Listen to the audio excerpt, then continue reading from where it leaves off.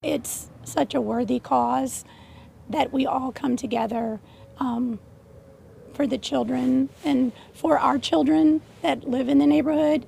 Um, it's a wonderful event that they can walk around and ride around, and we have fire trucks that come through with Santa on the back, and it's just a, a wonderful experience. The whole night is.